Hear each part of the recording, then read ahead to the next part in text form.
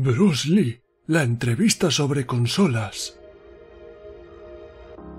Le conoceréis por dar hostias como panes, pero también es un consolero que te cagas. Bruce Lee ha venido a nuestro programa a hablarnos sobre la nueva generación de consolas. Es más de Series X o de PlayStation 5 como el resto del rebaño. Entrevistas objetivas de consolas.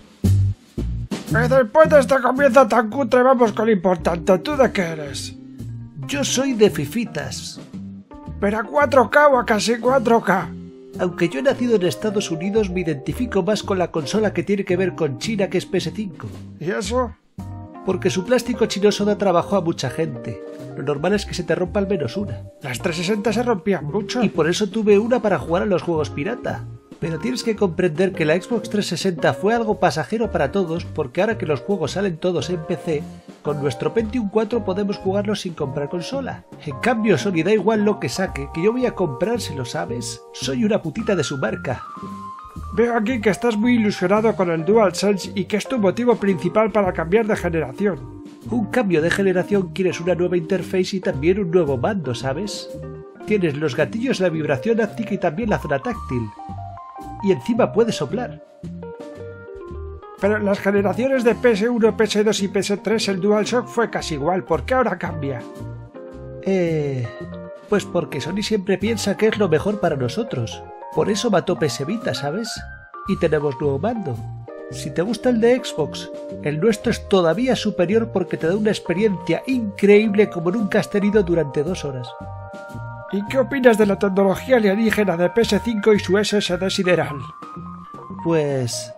En lugar de centrarse en flops, en Sony se han centrado en lo más importante. Al reducir los tiempos de carga ya no tienes que esperar entre cinemática y cinemática del Uncharted y casi te dará la impresión que estás jugando, aunque en realidad no. No sé si has visto que ya hay test donde la Series X carga más rápido que PS5.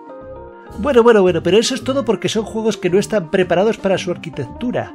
En los exclusivos es donde se demuestra. Ponme un ejemplo. Vice Morales carga en dos segundos.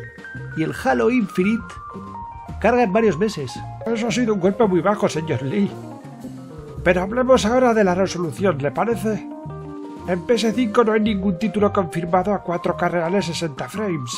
Eso es debido a que nuestra consola, además de tener que mover graficazos con ray tracing, tenemos un sonido 3D que es casi de otro mundo. ¿Dice que es de otro mundo porque todavía no lo soportan las televisiones y solo sus auriculares? Eh, te lo voy a explicar de forma más sencilla. La miel no está hecha para la boca del asno. Como veo que eres más Sonier que el culo de Kojima, vamos a acabar esta entrevista y quiero que me digas por qué debería comprarse la gente una PS5. Les diría, vacía tu mente y también vacía tu cartera. Compra todo, como un Sonier. Si Sony copia la vibración, lo ha inventado Sony. Si pones un micrófono en el mando, lo ha inventado Sony. Si pones los gatillos, lo ha inventado Sony. PS5 será muy tocha, pero la ha inventado Sony. Vide mueble, my friend. el mueble obviamente es PS5. ¿Entiendes mi metáfora? Lo que entiendo es que me está dando vergüenza ajena por haber hecho esta entrevista, así que nos vemos en la siguiente de entrevistas objetivas.